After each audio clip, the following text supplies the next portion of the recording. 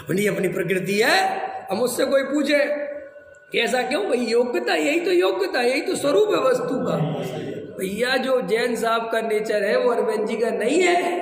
अब जैन साहब अपना नेचर अरविंद जी पे डाले, कैसे डलो, कैसे चलेगा? बोलो। और हम यही तो करते हैं। सास अपना सारा उड़ेलती है बहू पे। ऐसे कैसे हो सकता है?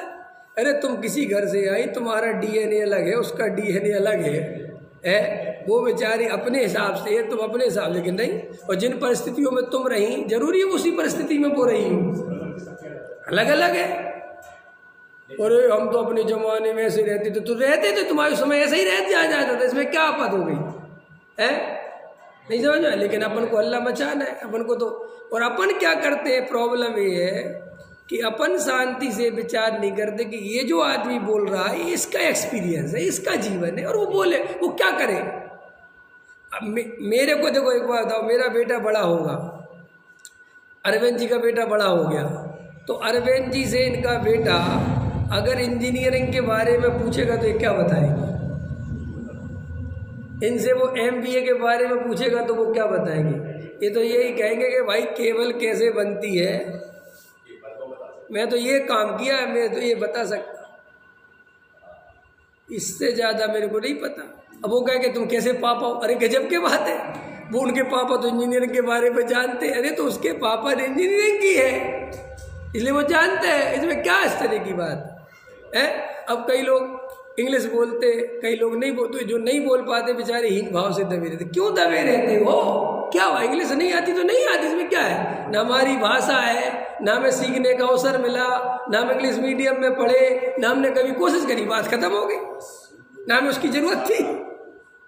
हमें ज़रूरत होती हमें कुछ बनना होता। उस टाइप की पढ़ाई करी होती तो हम भी इंग्लिश में होते उसमें क्या सोचना है? अब एक ब्रह्मचारी है उसका ग्रस्त के जीवन से कैसे बराबरी कर सकते हो? उसके बाल न बच्चे गोपाल सच्चे। वे तो उठाया थैला कहीं भी चल देंगे। उनका क्या है? अब भाई तुम पे लाद दे। कि देखो मैं कितना स्वतंत्र हूँ। अरे तो हो तो इसमें दादागिरी की क्या बात? और मैं कोई परतंत्र नहीं हूँ? मेरी एक अलग टाइप की स्वतंत्रता है। तुम्हारी अलग है। नहीं समझ में आया? तुम समाज के भरोसे रहते हो, मैं पत्नी के भरोसे रहता हूँ।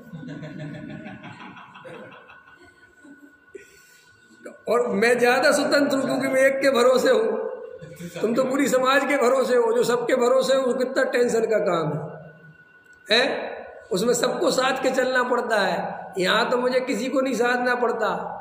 एक पत्नी है, कभी लड़ भी लिया, कभी चुपचाप मना भी लिया। समाज वालों से तो एक बार लड़ लो तो दोबारा मना नहीं सकते।